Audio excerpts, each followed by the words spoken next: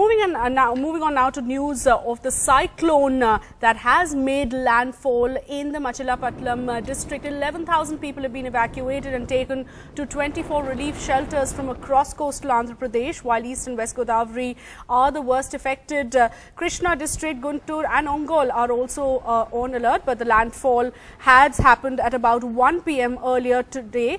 The landfall there taking place at the Machilipatnam uh, district. Let's go across to my colleague uh, Sneha Marikoshi for more on this. Sneha, what's the update? Well, uh, the uh, the cyclone hasn't really crossed much uh, Machilipatnam yet. What we're being told is it's going to take almost one hour to one and a half hours because the cyclone is uh, uh, uh, is a very um, uh, major one. So that way, it's not crossed yet.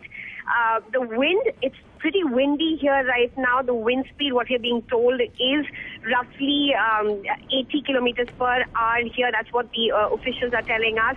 It is likely to increase as um, uh, as the cyclone crosses uh, the entire Machilipatnam. It's been raining a whole a whole day today morning. It was not raining. Only around 10 o'clock, um, it started uh, drizzling, and then after that, it was continuous rain. Even right now, uh, there is incessant rain. Uh, uh there are almost 54 shelter homes uh, in uh, the coastal areas of Andhra Pradesh, including uh, Machli, Machilipatnam. There are 11,000 people who have been evacuated. We are being told from Machilipatnam in the low-lying areas, specifically around